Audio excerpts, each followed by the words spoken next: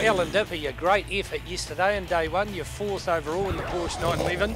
But um, a few problems with the car at the end of the day.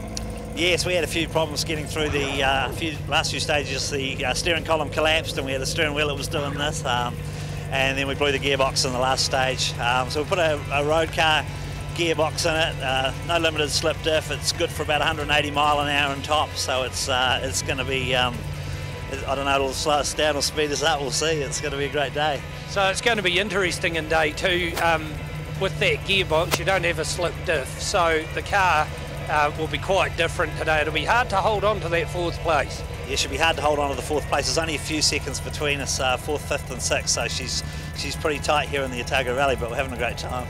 We'll be out there, and um, we wish you luck. It'll be a hard-fought battle today. Cheers.